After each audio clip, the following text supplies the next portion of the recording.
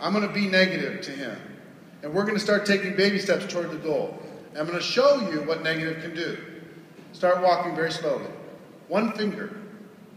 One finger is all I need to start to move him. I promise you, if I'm negative enough, he doesn't have a chance. One finger will take him and move him off track. Now, if I'm positive and he, he wants to come this direction, I'm positive, start walking. And he's naturally coming this way, come this way. I'm saying, no, no, no. And I'm keeping him on track.